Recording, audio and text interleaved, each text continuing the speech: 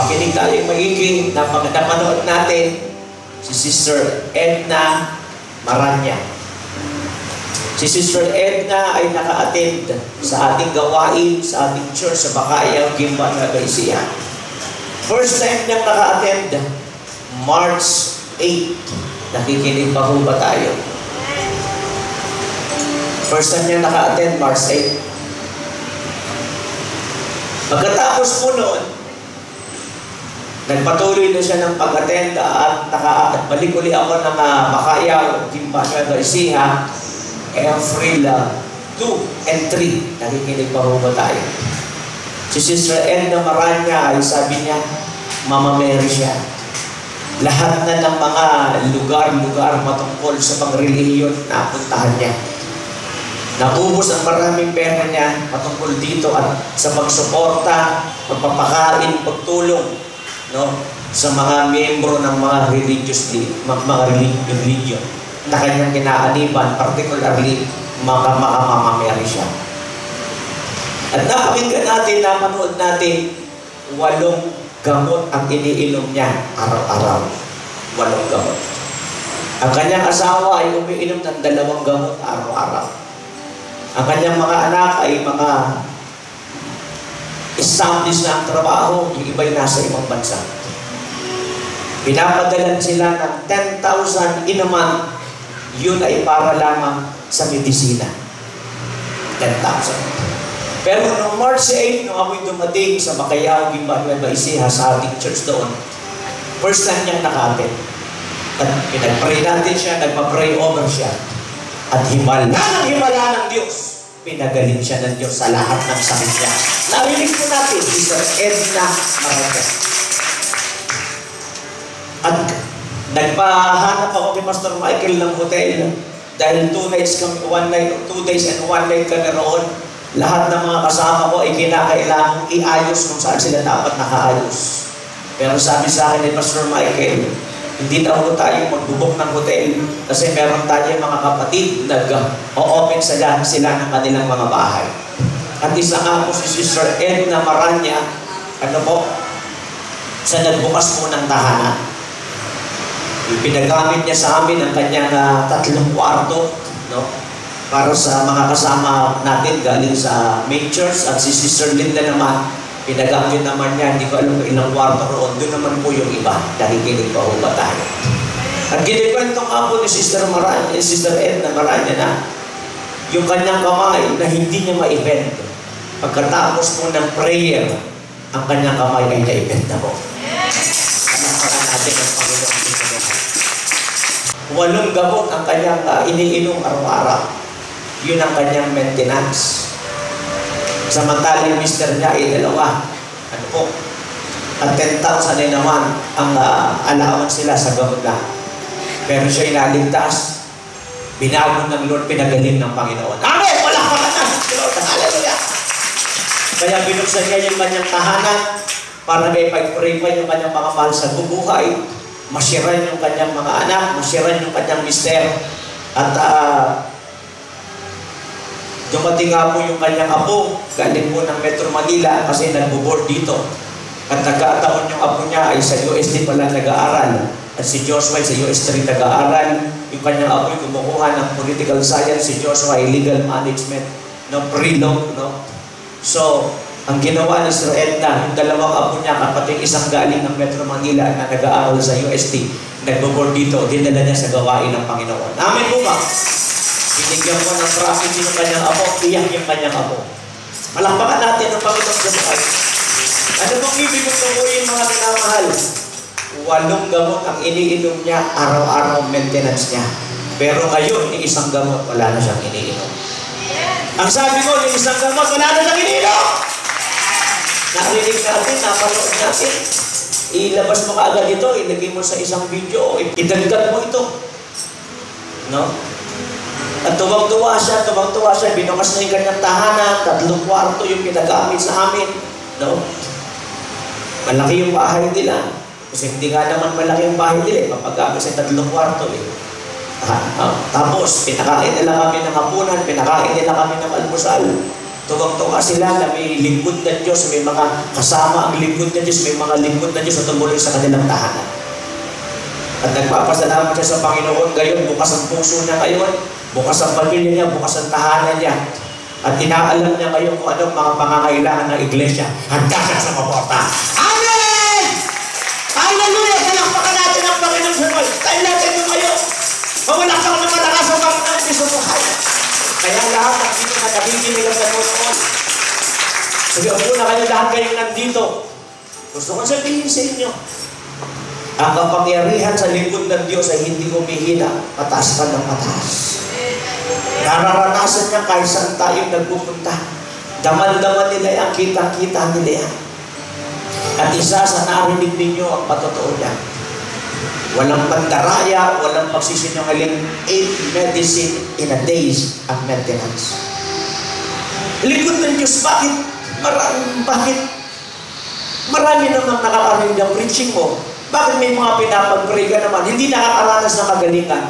Hindi kasi talaga bukas sa Panginoon. Yung iba yung napipersa lang ng kanilang mga mahal sa buhay. Hindi na, papray ka na, papray ka na. Papray ka na kay Pastor. Sige na nga, sige na nga. So, walang nangyayari. Siya hindi, kusa talaga siya. At narinig natin ang kanyang, ang kanyang sinabi, Panginoon, gusto ko pong magpagamit sa iyo. Gusto ko pong maglingkod sa iyo.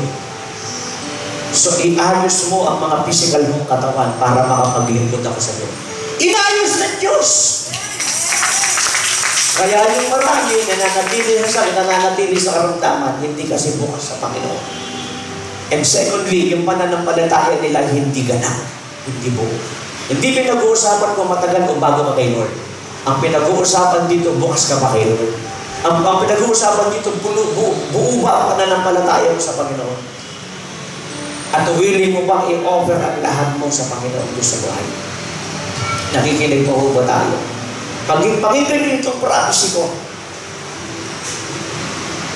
lahat ng mga lumabas at lahat ng mga narito pa at pinagpala ng Panginoon pero nagiging papetik-petik lang ang pagdalo. Nagiging papetik-petik lang ang paglingkod, paglilingkod. Dito po ulit. Lahat ng lumabas sa Kingdom of Jesus Fellowship at lahat ng mga narito pa pero ang pagdalo nila, papetik-petik lang. Taken for, for granted ang pagdalo. Absent, dalo, late, uwi agad. Hindi talaga mailaalam, hindi talaga maapoy sa Panginoon. Ang paglilingkod, taken for granted, papetik-petik lang. Pakinggan ninyo ang prophecy ko. Ang pagpapala ng Diyos ay paalis na sa isa sa kanila. Ibibigay na sa mga talagang matitino. Amen!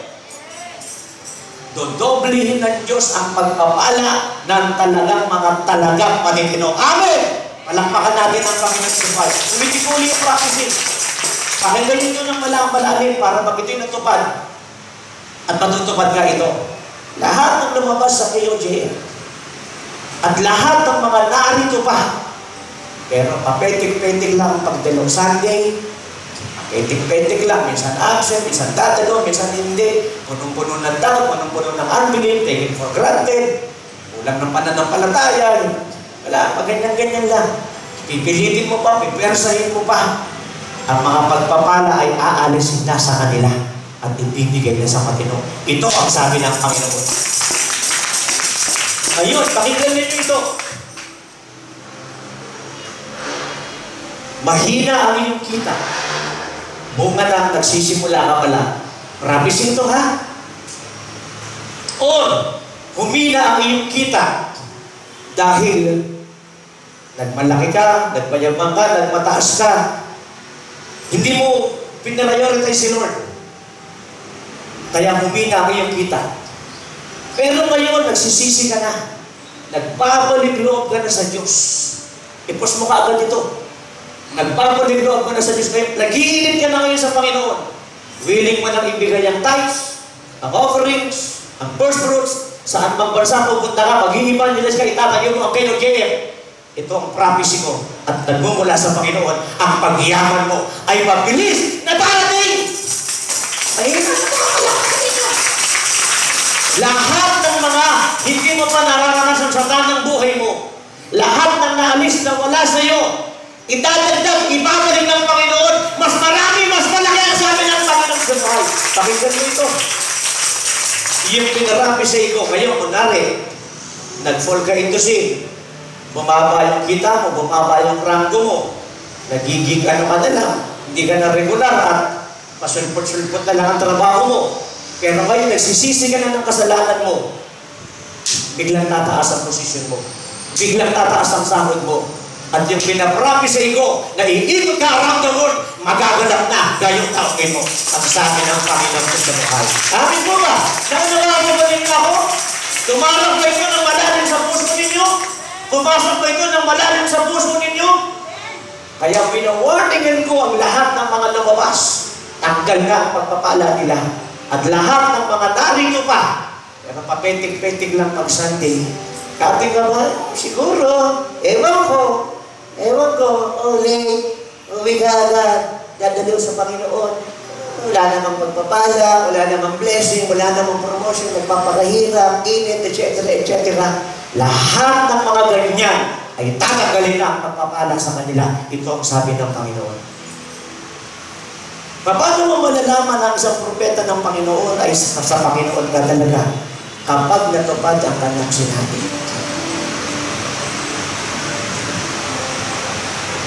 Kaya po, huwag tayong sumama sa mga tinatanggalan ng pagpapala. At huwag tayong sumama sa mga lumabas o mga nandito na papetik-petik lang. Magkaroon kayo ng malalim na commitment kayo ay tayo.